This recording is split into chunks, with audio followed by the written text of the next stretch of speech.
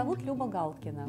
Я переехала в Лондон 15 лет назад из Голландии, где я работала в европейской штаб-квартире американской компании Nike. Переехать для нас, а я переехала с мужем и с дочкой, было достаточно просто. Тогда существовала программа для высококвалифицированных специалистов, и мы с мужем нее очень подходили. Нам казалось в тот момент, что Лондон – это абсолютный центр мира, что здесь большие перспективы для бизнеса и собственного развития.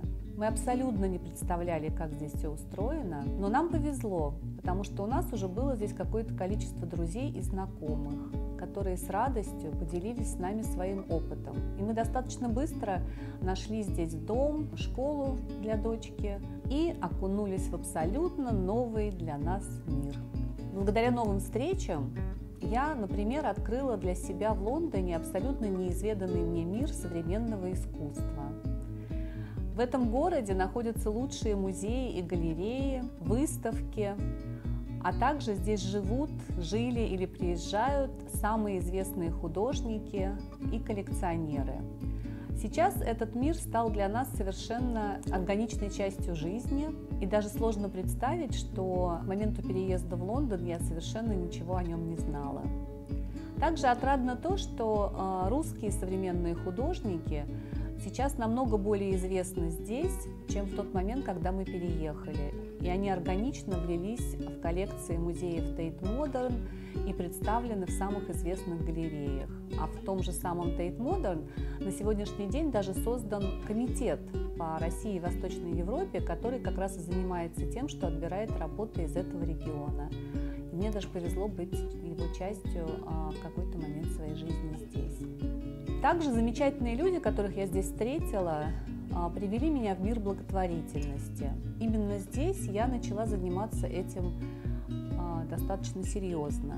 И здесь как раз пригодился мой опыт работы в маркетинге и мои обширные социальные связи, включая тот самый мир современного искусства, а, который так плотно вошел сейчас в мою жизнь. Мы создали в Лондоне фонд Gift of Life.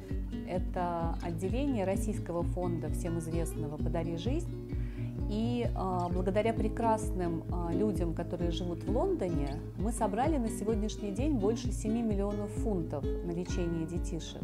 За этим скрываются не только деньги, но и очень много э, людей, которые жертвуют свое время или свой профессиональный талант, или просто делятся своим опытом. И вокруг этого создано такое специальное, доброе сообщество, которая растет с каждым годом и которая испытывает огромную радость, когда э, к нам сюда в Лондон приезжают дети, которым они смогли помочь и которые ведут сейчас прекрасную, новую, здоровую жизнь. Лондон для меня – это в первую очередь люди. К нам постоянно обращаются с вопросами, как мы в свое время, как открыть счет в банке, как найти школу для ребенка или учительницу русского языка, как попасть в музей или э, театр без очереди, как стать членом закрытого английского клуба. Пытаясь помочь большему количеству людей, мы придумали зиму. Зима – это такая русская экосистема внутри Лондона, где можно поесть русской еды в компании как русских, так и англичан. Можно узнать последние новости и решить, куда пойти в выходные на сайте или обменяться мнениями в Фейсбуке, а, прочитать интересное интервью в журнале или прийти на одну из встреч, которые мы регулярно проводим не только в зиме, но и на других площадках. Зима для нас – это такой культурный код, понятный русскому уху, который вызывает приятные с детства ассоциации, например, катание на санках или игру в снежки, теплые посиделки до утра с друзьями, когда на улице лютый мороз. Собственно, так мы и представляем себе здешнюю зиму в Лондоне. В ней мы рады каждому человеку, потому что вместе теплее.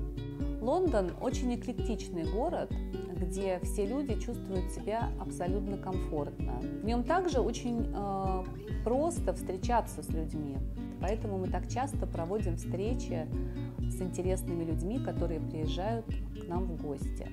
Лондон очень человечный город, и в нем очень приятно гулять пешком. В нем очень много парков. Для меня, конечно, самый любимый парк – это Ридженс парк, рядом с которым я живу, и в котором часто гуляю с нашей собакой Лапой.